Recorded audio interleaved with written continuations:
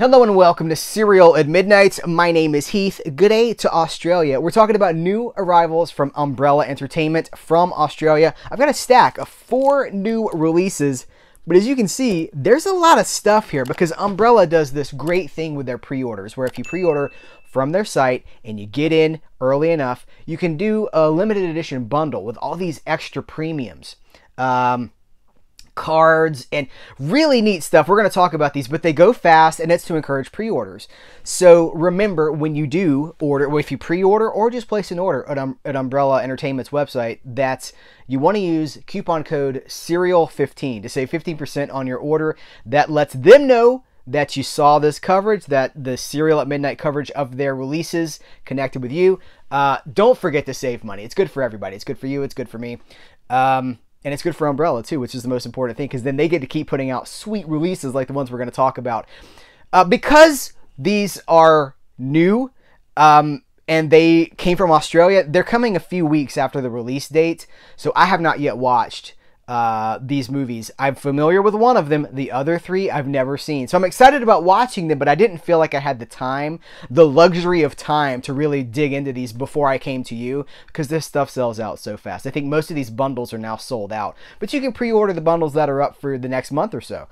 Um, so let's just dive right into it. I've got, uh, let's see, we'll kick it off with Midnight Spares. This is the Ozploitation Classics number 19. Midnight Spares.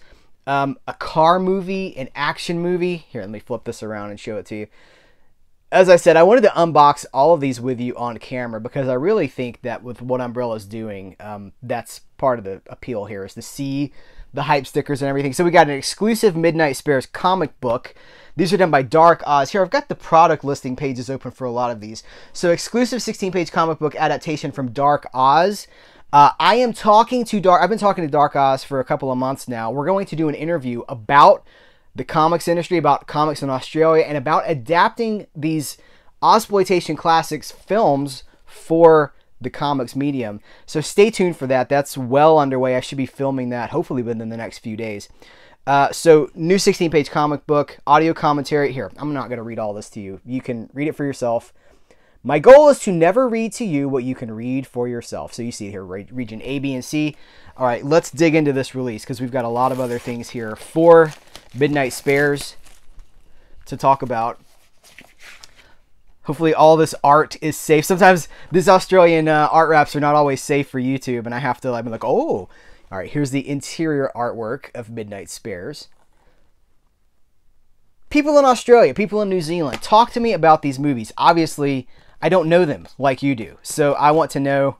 that's, that's amazing. That's pretty iconic. Can I show everything here? I think I can. Here's the comic book. All right, so there's our interior. Here is the Dark Oz comic. One of the things I want to ask is how challenging is it to adapt a film into one single issue comic. And these aren't even, you know, like 32 page comics. Oh, there's skin in this comic. I gotta, I gotta be careful. All right, so here, there's the comics, uh, or the comic book, and then we also have. this is amazing. This Midnight Spares. You put this on your car. What do they call this? This is a here. I can take it out of this packaging. I got the the bundle here. Uh, car emblem. So this is a Midnight Spares car emblem. That's amazing. If I drove around with this on my car in the United States, I don't think anybody would know what it is. But is this movie super recognizable in Australia? If someone saw a Midnight Spares emblem on a car, would they be like, oh, it's from that movie? Or would they be like, huh? It also comes with uh, lobby cards and the daybill poster. Here's the daybill poster. I love these daybill posters. And I gotta say, this is the one. This daybill poster has arrived immaculate. Frequently, they'll have you know some bent corners or something for me, which shows up in the video. This one is crisp and uh, and really sharp. Sorry, so there's our daybill poster, and here are our lobby cards. And it also has uh, looks like an A3 poster as well. Is this the A3 poster? Yeah, so here's the another poster. This was the the limited edition, you guys. This was the um, the collector's edition, which I believe is sold out now. But you can still get Midnight Spares from Umbrella. But and it's going to come with everything. You know, comes with the comic right now. Comes with the uh, you know everything we just unboxed there. But these these extra premiums like the car emblem, those are the those are those limited bundle exclusives. So here's our lobby cards. So this is going to be challenging because they're I don't I don't like to take. Let me see if I can get this. Just slide it off there. All right. These are not. These look like actual lobby cards. These are really high quality. The mob pushed him too far. Now they're gonna bust a million dollar racket called Midnight Spares.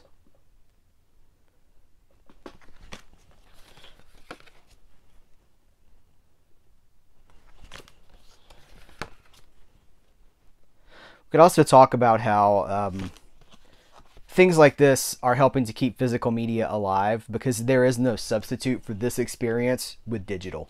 If you have the movie digitally, that's one thing, but you can't have like this is for collectors. This is for people that love this movie, that own this movie, and that want to uh, celebrate this movie. All right, now I got to try to get this back on. Maybe this is better done off the. Oh no, I got it. Okay, that was relatively easy. All right, I'm going to pack all this stuff. Hold on. Pack all this stuff back up. No, I really want to know from you guys, uh, what is the legacy of Midnight Spares in Australia? Is this um, cult classic, just a classic? Let me know. And we can continue. All right, I'll do this later. I'll do this after we finish the video. We're moving on. Hold on, let me close my tabs out here we are moving on to Sons of Steel, which is part of the Beyond Genres line. This is Beyond Genres number 23. I love this line.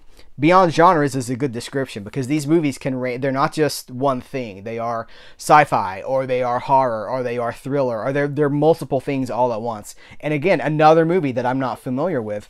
Uh, Sons of Steel includes exclusive 48 page booklet and CD soundtrack.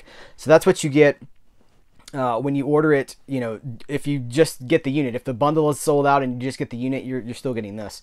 But we also have, well, here, I'll save that for just a second. So we've got flip this around.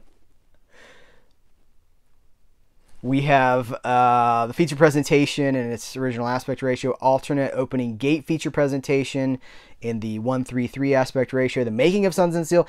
MTV goes to the Australian premiere. Access all it here. I'm reading to you what you can read for yourself. I'm doing the thing I don't like to do. Freeze it, read it, notice ABC. It doesn't matter that I say this at the beginning of every video. Someone always asks, do they play in there? Because I guess people don't watch. They click the video, they comment on the video, but they don't watch the video? I don't understand. I don't understand. All right, here's Sons of Steel.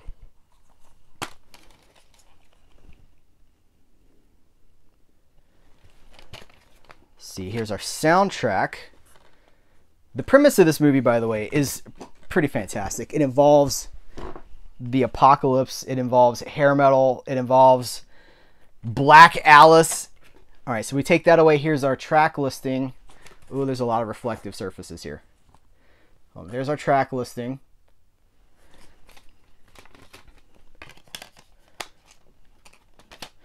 And here is the illustrated excerpt from book one of the Sons of Steel series of novels, Black Alice, an Aussie time traveling larrikin rocker this is amazing. And here's, can I show all this? Yeah. Telling you guys, this is just quality. All right, but it's not just the movie. It's not just all of this. Hold on, there was something under here. Oh, here's more stuff about the soundtrack. Okay. This also comes with, hold on, let me pull up. Uh, a tote bag, the CD soundtrack, the prequel booklet, A3 poster, postcards, and stickers. Okay, so here is the tote bag. Oh, I'm dropping things. Ugh. Here's the tote bag. This is our Sons of Steel tote bag. hold on, I do it like this. Sons of Steel tote bag. And on the other side, it says that it's our pocket nuclear shelter. Maybe I'll take this to the grocery store next time I get groceries, and the old ladies will be like, "Oh, look at that young man." All right, and here is our the the paper goods, the uh, to, the uh, prequel booklet. No, we did that. The A3 poster, the postcards, and the stickers. Yeah. Here's our stickers.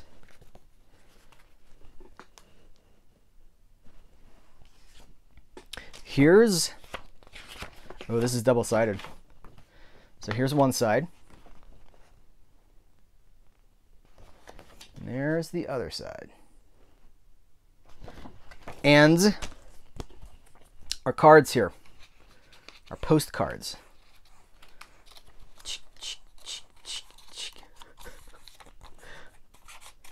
Come on, we're almost there. All right.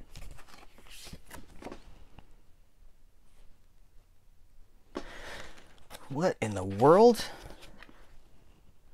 Someone who has not watched this movie yet, I am intrigued.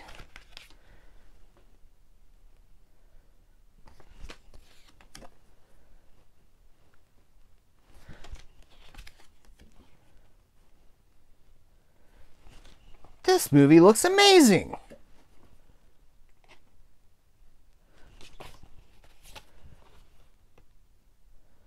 And I can't show you the last one here. I will do this.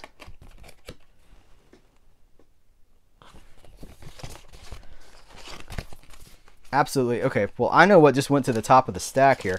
All right, I'll pack all this up after we finish recording.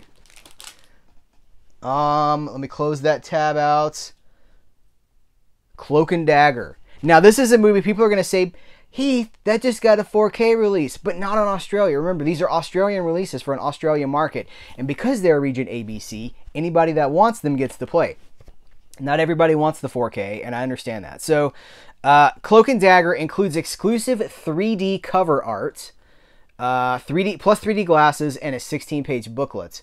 But there is more because there's also with this limited bundle, the collector's edition. It comes with uh, a pewter figure, a 3D poster, and lobby cards. Here's the pewter figure.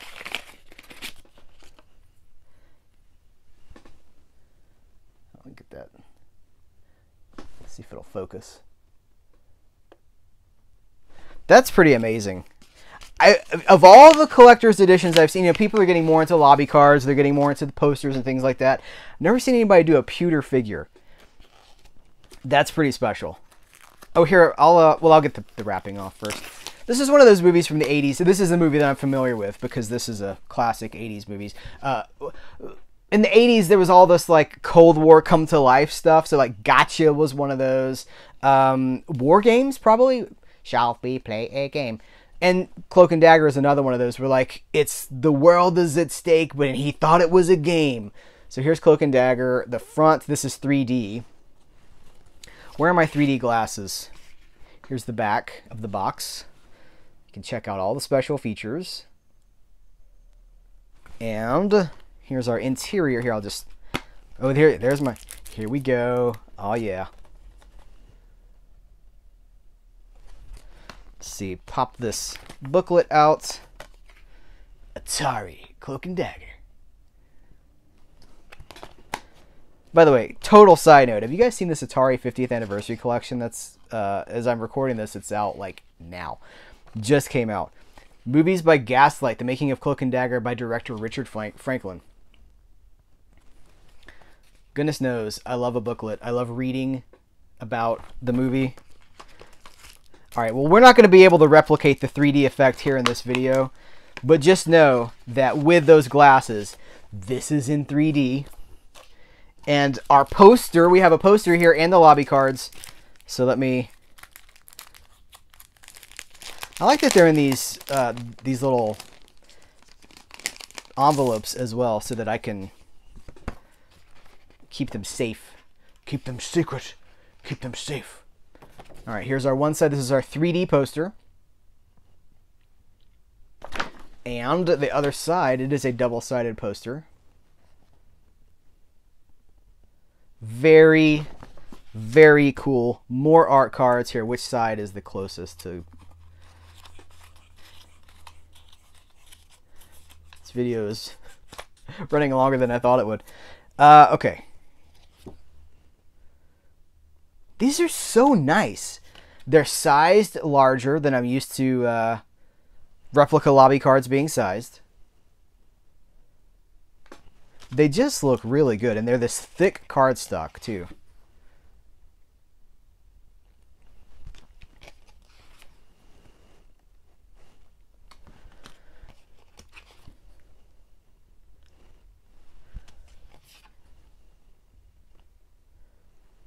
And the last one here. Okay. I'll pack it all up after I finish. Last, well, hold on, let me close my tab out here. Last but not least, Spotswood. Uh, the cast on this thing, you guys Anthony Hopkins, Ben Mendelsohn, Toni Collette, Alwyn Kurtz, I'm not sure if I know who that is, with Rebecca Rigg and Russell Crowe. Are you not entertained? That's what he says about Spotswood. Are you not entertained? Uh, a film by Mark Joffe. So again, never seen this movie. This is a Sunburnt Screens um, release number 21. And the I've done my research on the movie and it sounds really great. So Anthony Hopkins is a very severe, strict uh, business leader, and he comes into these companies and just like lays everybody off, fires everyone, reduces the workforce. By the way, bonus bonus soundtrack CD inside, and uh, he goes to this new place, this new factory, and ends up falling. Well, does he soften by seeing the relationships with the people that work there? That's the thing. It's one of those kinds of movies. But Anthony Hopkins, what year was this? This was um, pre Silence of the 1991. Holy crap! So we're getting right up on that Silence of the Lambs era, and you couldn't ask for a more different role. Okay, so tons and tons of special features here. Here's the I'll hold the cover up for you. Flip it around. Can you guys read that? I hope that you can. What all do we have here? New 4K scan from the original Elements, alternate efficiency expert cut in full frame, the efficiency expert introduction by director Mark Joffe, all new memories of spots. But this is wow. And then the CD of the original score here. Let me. Here's our Blu-ray. Here's our CD. And it looks like we have we do we have reversible a reversible art wrap. Oh, I like that. Very nice. Wow, that is uh that's the latest releases from Umbrella Entertainment. This is not everything that they do. This is just what I was offered to show you guys. They also continue to uh, release um, their six shooter classics. Western, you know I'm a huge Western fan. I wish that I could talk about those too. But I'm a huge Western fan. They continue to release. In fact, I did a spotlight on the six shooter classics line where I talked about at least a dozen of them. Uh, I love that they are keeping Westerns alive because, as we know, Westerns as a genre uh, are not always the the coolest or the sexiest. We've got revisionist westerns, but just old westerns can really fall through the cracks, and they're not particularly well preserved because they're not well regarded. They're not huge sellers, is what it comes down to. So Umbrella continues pretty much every month to continue to move forward with their uh, their six shooter classics, and I love that. War films, noir films, they're doing a lot of other stuff besides just what we talk about here. So remember Code Cereal15 saves you 15% on your order at Umbrella and it lets you know, lets them know that Cereal at Midnight sent you over there. Guys, let's talk about these movies. I really want to know what you think about them if you've seen them. Uh, let's, uh, this is my, this is what I want to say as often as possible. Let the comments of this video be like hanging out at the video store where we're recommending things. Oh, have you seen so and so? That's a great use of the comments other than just, you know, first or, you know, really having a conversation with the community. That's what I want those to be for. So thank you guys. Thanks to Umbrella Entertainment. Until next time, I will catch you later.